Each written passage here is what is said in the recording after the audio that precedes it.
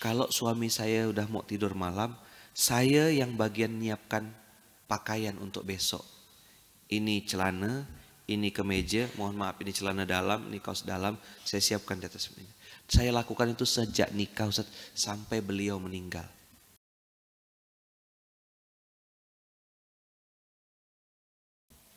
Episode kita mendekati Allah itu ujiannya banyak. Maka dari hari ke hari, tahun ke tahun, kitalah yang paling tahu kualitas kedekatan kita sama Allah. Kita yang paling tahu tidak ada orang lain. Mau dipaksa-paksa kayak apa pun, berbusa-busa pun ngomong, ya kalau memang tidak dengar ya tidak dengar. Tapi ada orang yang cuma ngelihat orang mati di kuburan gitu, udah jadi wasilah hidayah untuk dia, dan dia akhirnya memutuskan untuk istiqomah dalam kebaikan. Ada yang bikin target, bikin resolusi, ya resolusinya dari 2019 sampai 2023 sama ya itu tak itu ya inilah itulah diet lah inilah segala macam kan? Faktanya tak ada gak TGM apa TGM ada gak macam mana waktu nak waktu nak bergerak ya fakta di lapangan enggak maka saya sering bilang kalau telur pecah dari luar itu jadinya telur dadar. Apa telur kalau pecah dari luar? Telur dadar. Tapi kalau telur pecah dari dalam tembala. Jadi ayam. Tembala kata dia. Ayo, pecah dari luar telur dadar. Apa kalau pecah dari luar? Jadi telur dadar. Hmm, kasih kecap dah. Makan di restoran mahal pun telur dadar gak ujung-ujung. Pesan lauk banyak ini ini, ini telur dadar. Murah hidupnya tuh. Gaya hidupnya agak tinggi sedikit. batuk kawan. Ngapa batuk? Kayak paham. Macam kenal ya. Saya tidak sebut nama loh. Saya cuma bilang dia pesan telur dadar. Makannya sederhana gayanya agak tinggi sedikit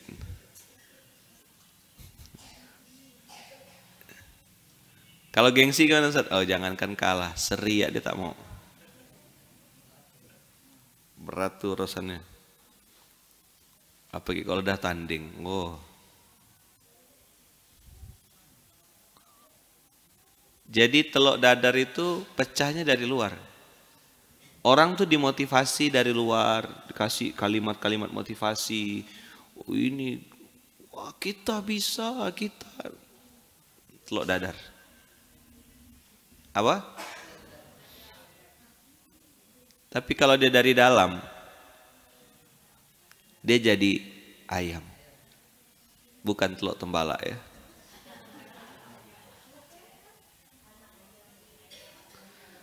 Kan dia telur pecahnya kan dari dalam.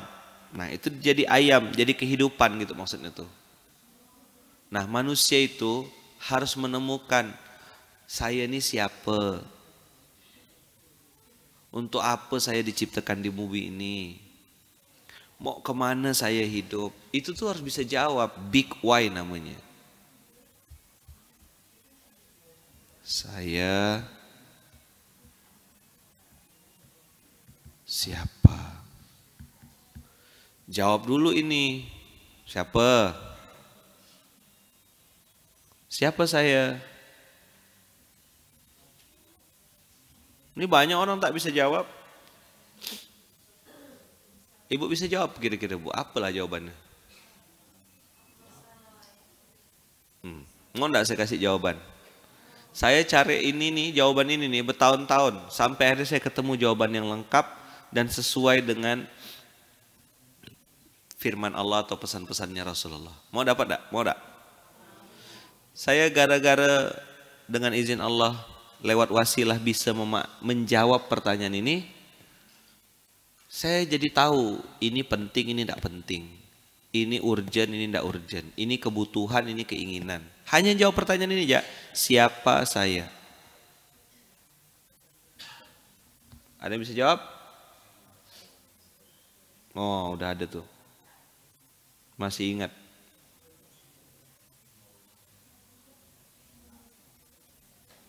Wah ini yang di YouTube jawab nih beliau nih Muhammad Irham. Jangan-jangan nih paskas Terenggalek Ustadz Irham. Dapat hadiah karena jawabannya dua-duanya betul 100 ribu 100 ribu masing-masing dari dapat jawaban dapat hadiah 200 ribu. Itu jawabannya. Siapa saya? Jawabannya adalah yang satu bu ada dua jawaban bu. Saya adalah hamba Allah. Apa bu? Hamba Allah. Tapi belum selesai bu.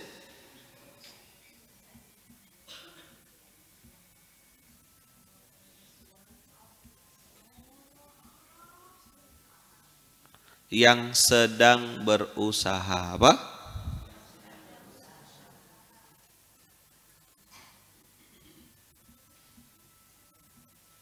Menjadi hamba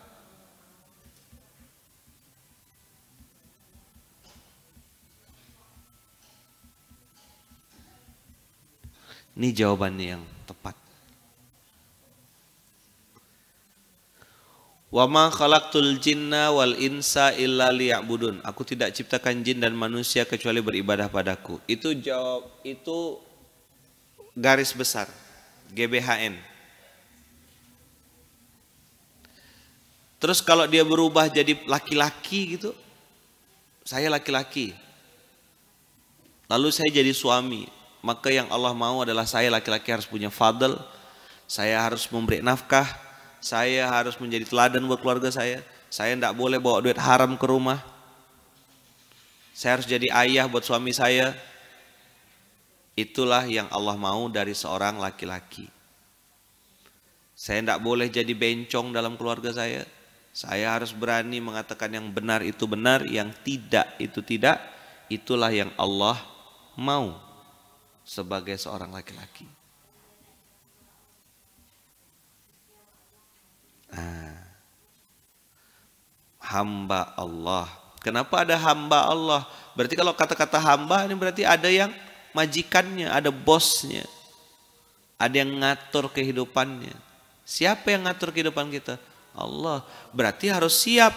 Ada episode yang kita mau tak sesuai dengan kenyataan.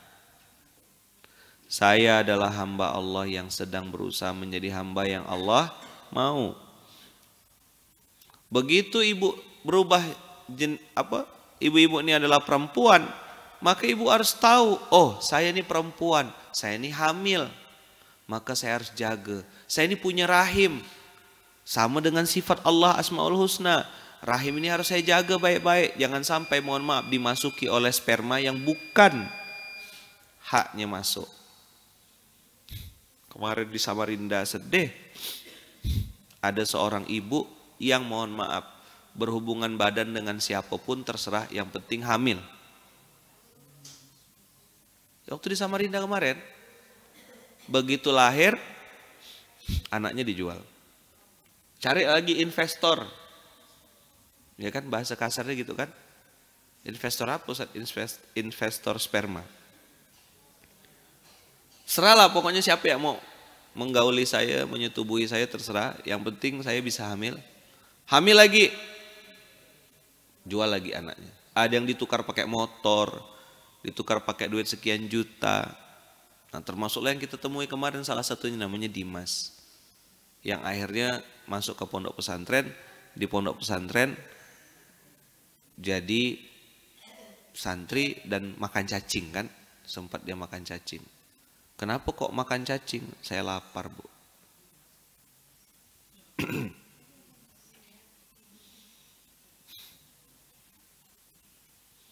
Lagi viral sekarang. Ibu-ibu bezina sama menantu.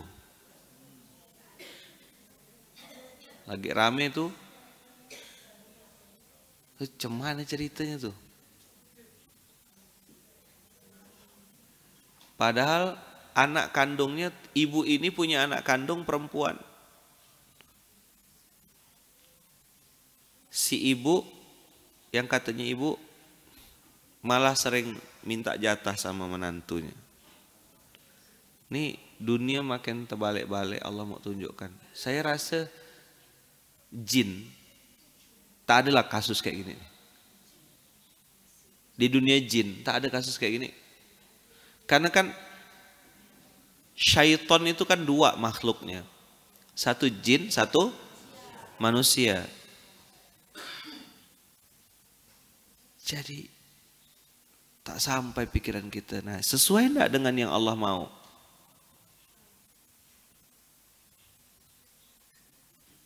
Saya adalah seorang perempuan wanita. Tugasnya ngapain?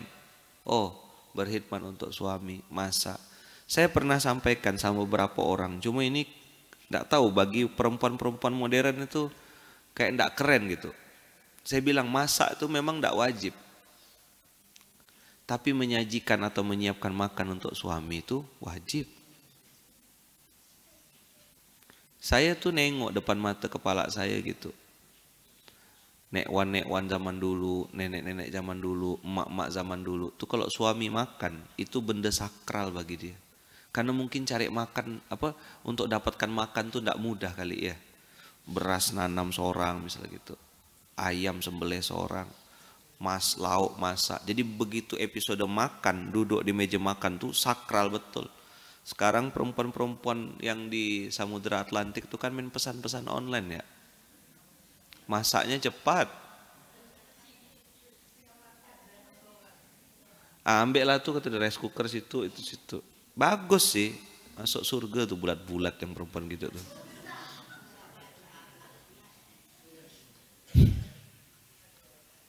Jangan kacau ayah, jangan kacau bapak. Anak-anak ditenangkan loh semuanya. Bapak mau makan. Bahkan ada guru saya lupa namanya Habib siapa gitu. Beliau cerita tentang tentang beliau atau tentang orang tuanya gitu, saya lupa. Itu istrinya tuh, kalau ada episode makan sampai nyiapkan rotan di samping. Silakan makan. Ini kalau dengar orang feminis, didengar sama orang-orang modern, dibilang pembodohan. Padahal dia berniat untuk berkhidmat. Karena dia tahu surganya dia di ridho suaminya.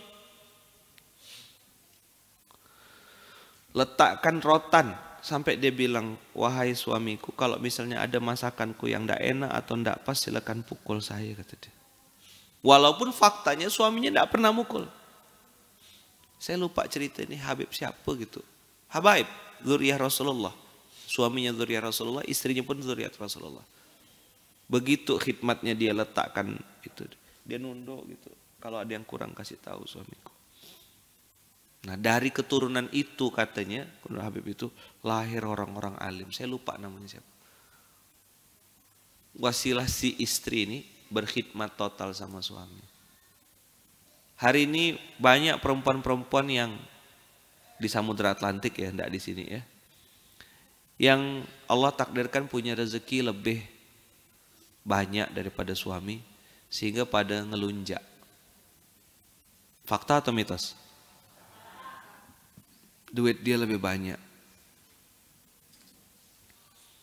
Income dia lebih besar sehingga ngerasa lebih pantas untuk ngangkat suara, Mana kakak-kakak yang belum nikah belum nikah kita kita jangan anggap itu ilmu kuno. Kemarin siapa ada ibu-ibu cerita sama saya? Oh, bibiknya Ridwan. Beliau bercerita sambil berkaca-kaca matanya. Dia bilang, Ustadz, saya ajarkan sama Dina, istrinya Ridwan, untuk melakukan apa yang saya lakukan. Jadi, kalau suami saya udah mau tidur malam, saya yang bagian nyiapkan pakaian untuk besok ini celana, ini kemeja, mohon maaf ini celana dalam, ini kaos dalam, saya siapkan di atas meja. Saya lakukan itu sejak nikah Ustaz, sampai beliau meninggal. Saya bilang langka dah. Ini. Langka. Kenapa? Karena istri sudah ada amalan menjelang tidur. Apa amalannya? Ah, buka toko online. Belanja sebelum tidur. Apa malamnya lagi? Nonton tablik akbar. Korea. Tahap apa ya tuh? Sempat al-muluk. Wallahu a'lam. Dianggap. Normal. Ke saya respect sama rumah tangga-rumah tangga yang bikin komitmen, kita ndak ada handphone di atas kasur. Pukul dari atas kasur, simpan handphone, matikan. Tidak usah lagi ngobrol-ngobrol handphone. Letakkan tuh barang. Setan, gepeng saya nyebutnya apa? Apa nih? Setan gepeng. Bikin kesepakatan, mumpung belum nikah, Bi. Kalau udah di atas kasur, tak usah ada HP. Tak ada gak sampai triliun-triliun bah omset tuh, macam iya iya benar. Tak ada gak sibuk-sibuk gimana bah.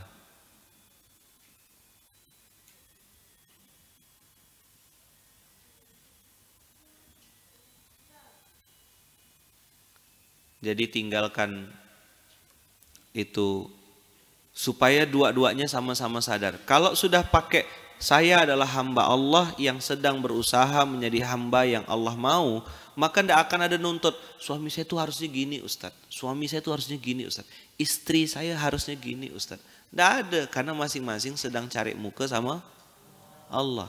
Tidak mudah memang. Siapa yang bilang mudah? Maka ada kata-kata yang sedang berusaha. Itu kata kuncinya.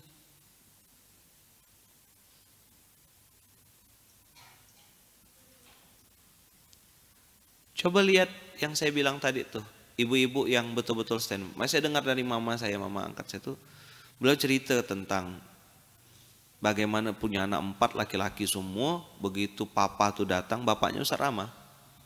Begitu papa datang, semuanya dikondisikan loh. Tahu usah ribut, ada yang nangis. Semua harus mandi, beres semuanya. Papa bentar lagi datang. Begitu datang rapi, dah budak-budak kecil. Mamanya standby jaga anak apa pun yang terjadi piring pecah itu nanti dulu cerita yang penting papa balik makan hari ini benda ini kayaknya benda langka Mama zaman dulu ngomong tuh ngasih tahu kau gini nak, kau gini menantu, cerewet benar mama aku nih kata dia. Itulah kira-kira jawaban anak yang katanya mau masuk surga tuh. Maka akhirnya banyak emak-emak pun akhirnya diam nggak zaman sekarang nih. Hai kak lah. Cantik memang budak-budak sekarang nih, mengkilat-mengkilat. Tapi malasnya tuh ampun, ampun perempuan sekarang ya Allah. Masa air angus. Sekali masak ya kaldu ayam, soto ayam, ya semua ayam-ayam. Soto ayam, kaldu ayam, kari ayam mie instan tuh tak bisa masak. Duit duit duit. Minta duit duit minta duit